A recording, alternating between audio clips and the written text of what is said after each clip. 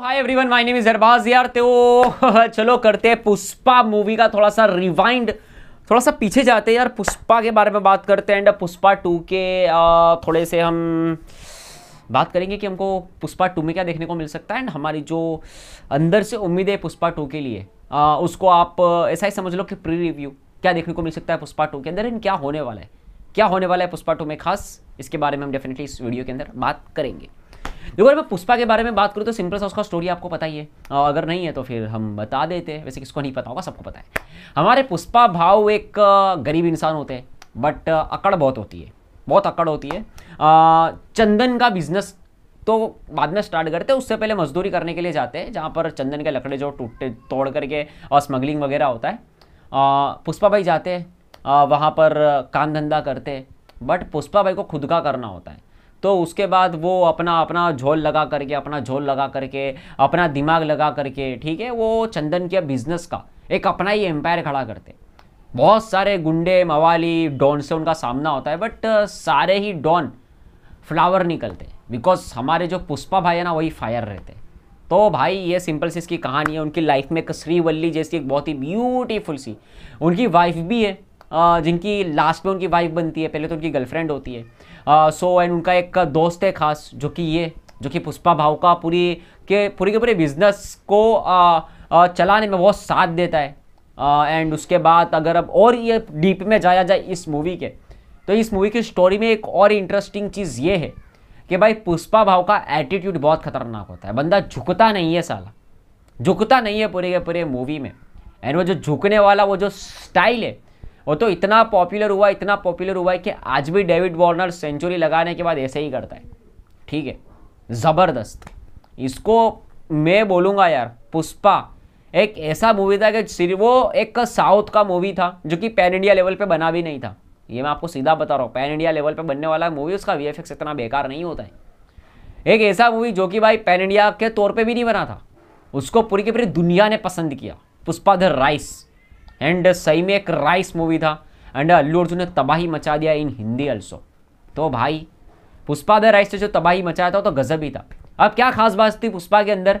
इसके बारे में बात करते हैं। देखो, पुष्पा के अंदर सबसे पहली जो अच्छी चीज़ थी, वो थी भाई इसका जो मास जिस तरीके से इसमें अल्लू अर्जुन का जो स्वेग था ना भाई, उसका जो एक्टिंग था, वो बहुत ही ज़बरदस्त था।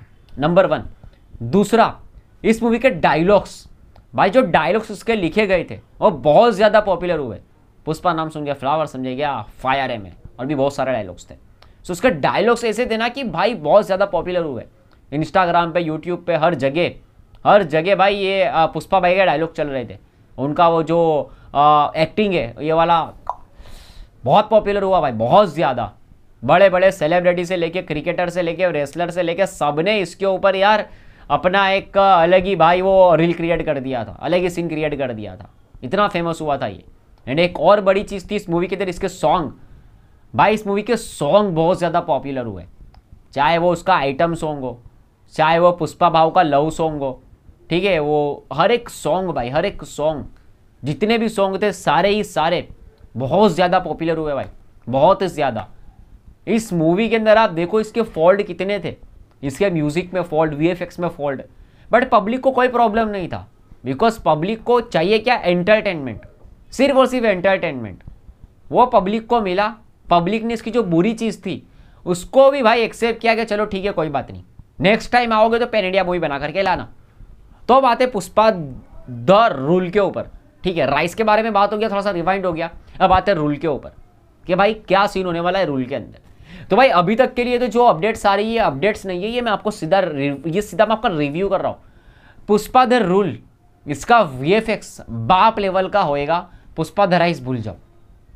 इसका वीएफएक्स तो कुछ भी नहीं है। पाँच परसेंट भी खड़ा नहीं रहेगा पुष्पा द रूल के वीएफएक्स के सामने। ये मैं आपको लिख करके बता रहा हूँ। और दूसरा, पुष्पा द राइस के अंदर इमोशंस इतना नहीं था। वो ठीक है, वो बाप बेटे का वगैरह बताया था, माँ बेटे का बताया था। बट उसको इमोशन नहीं बोलते पब्लिक की आँखों में कोई आँसू नहीं आया। बट पुष्पा द रूल के अंदर इमोशनल एंगल जिस तरीके से क्रिएट होने वाला है ना भाई, पुष्पा द रूल के अंदर। याद रखना भाई, वो फाड़ेगा मूवी तो ये जो चीज़ है ना, पुष्पा द रूल के अंदर एक स्पेशल सबसे बड़ी एक हाईलाइट चीज़ हो सकती है, जो कि इसके टीज़र के अंदर भी हमको देखने को मिली है। क्योंकि जब पुलिस वुलिस पकड़ के ले जाती है, वो पुष्पा भाव किसी को देखता नहीं है तब पता चलता है कि वही पुष्पा भाव ने कितने उस गाँव के अंदर कितने लोगों का मदद किया हुआ है। तो वो जो एंगल क्रिएट होगा इस मूवी के अंदर भाई, वो पब्लिक को रुलाएगा। एंड वो जो इमोशनल एंगल है ना वो मैं आपको लिख करके दे रहा हूँ भाई मज़ेदार होने वाला है इस मूवी के अंदर इस मूवी का सबसे बड़ा हाईलाइट इस मूवी का इमो इस मूवी का इमोशंस ही होने वाला है। ये मैं आपको बता रहा हूँ। एंड एक्शन लेवल बाप लेवल के होंगे। बाप लेवल के। एंड uh, क्या ही बोल सकते हैं। क्योंकि क्या हो गया ना सॉन्ग्स तो अलग ही लेवल पे जाएँगे। एंड सबसे बड़ी बात मूवी बनना बाद में चालू हुई थी। सबसे पहले इसके सॉन्ग के ऊपर काम हुआ था। क्योंकि डायरेक्टर सुकुमार को पता है उसको पता है कि मेरी जो मूवी इतनी बड़ी हिट हुई थी, उसके सॉन्ग सबसे ज़्यादा हिट हुए थे। तो उसने पुष्पा द रूल जब बनाना स्टार्ट किया, उससे पहले उसने सॉन्ग के ऊपर काम किया है, पुष्पा द रूल के। तो पुष्पा द रूल के जो सॉन्ग होंगे ना, हो सकता है कि पुष्पा द राइस से भी मच बेटर हो। भाई, वो बात अलग है कि भाई बहुत मेहनत करनी पड़ेगी कि पुष्पा द राइस के सॉन्ग बहुत ज़्यादा ब्लॉकबास्टर हुए थे यार। तो उसके ऊपर अगर बनाना है तो मेहनत उतनी ही लगेगी एंड उन्होंने की भी है। इस बात को समझो आप लोग। तो भाई मज़ा आने वाला है। एंड सबसे बड़ी बात वो जो श्रीवल्ली वाला जो एंगल है, बहुत लोगों ने बोला है कि उसकी डेट हो जाएगी इन दिस मूवी तो अब देखते हैं क्या होता है। अब इतना में इतना में अंदर नहीं घुसना चाहता कि यार डायरेक्टर के लिए कुछ छोड़े ही नहीं। अब इतना कुछ भी नहीं बताना कि आपके मूवी का मज़ा किरकिरा हो जाए बट हाँ फुल चांस है फुल चांस है श्रीवल्ली की डेट होना ऑलमोस्ट 99 परसेंट पक्का है। ये मैं लिख करके दे रहा हूँ आप लोग को। 99 परसेंट पक्का है वो इमोशनल एंगल क्रिएट करने के लिए। कहानी में ट्विस्ट लाने के लिए, एक अपना एक रिवेंज लेने के लिए श्रीवल्ली को मरना होगा। तो ये होगा, ये हंड्रेड परसेंट होगा।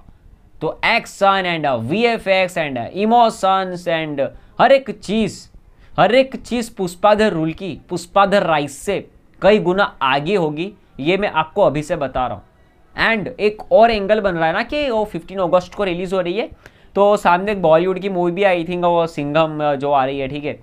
तो मेरे को लग रहा है कि यार हाँ मेरे को लग रहा है कि सिंघम को थोड़ा सा भाग जाना चाहिए। रीज़न सिंपल सा ये है भाई कि सिंघम अगेन जो भी आ रही है ना तो मेरे को लग रहा है कि पुष्पाधर राइस उसको सक्सेस जो मिली थी वो एक अलग ही थी। तो पुष्पा द रूल देखने के लिए बहुत लोग एक्साइटेड है। बीच में अच्छा खासा गेम हो गया है। अल्लू अर्जुन को देखने के लिए भाई मैं भी तरस रहा हूँ ठीक है। मेरे मैं भी तरस रहा हूँ उसको देखने के लिए। आ, तो मेरे को लग रहा है कि अगर से टक्कर हुई तो ये टक्कर के अंदर साउथ की पुष्पा द रूल, बॉलीवुड की वो सिंगम अगेन जो भी है, उसको आराम से मार देगी, पटक देगी। ऐसा मेरा मानना है। बाकी आप लोग क्या सोचते हो प्लीज़ मुझे कमेंट सेक्शन में ज़रूर से बताना।